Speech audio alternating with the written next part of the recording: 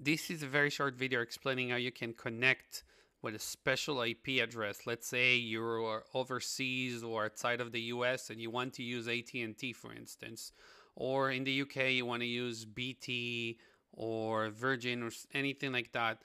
And if you use a VPN, for instance, this is Hoxx VPN. It's a Google Chrome add-on. It's a very good one. You can see they have a lot of countries uh, in the premium space. And but that doesn't resolve the issue because let's say you want to connect to a website that is very strict with the type of IP address you have.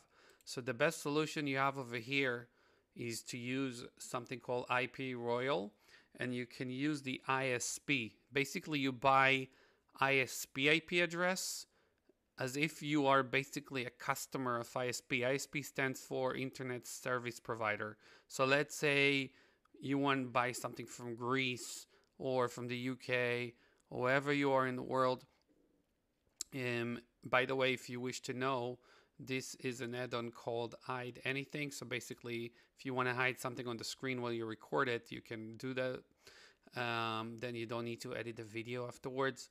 So you can create a new order basically, and then you can choose from many countries or just random location if you don't mind. And then you can go for 90 days or less. And basically, this is how you get your own ISP IP. And as long as you always renew it, let's say you take it for 90 days, which is the max, then as long as you renew it before the 90 days expire, then you keep the same IP address with you all the times. So that even makes your case or wherever you're trying to connect to even stronger because you always have the same IP address. So that's just like having ISP from overseas, even though you're not overseas.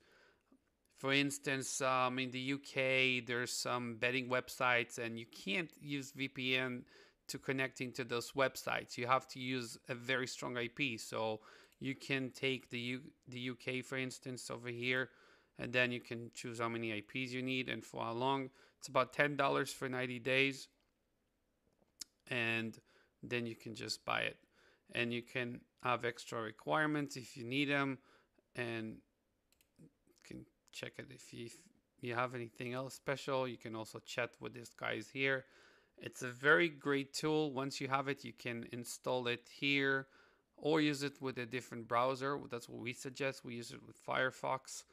And this is the only thing you need. Then your IP address is not a VPN it's not the same IP address you're getting here it's an ISP IP address.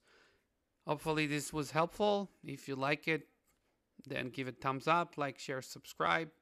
Thanks for watching. See you on the next one. Bye for now.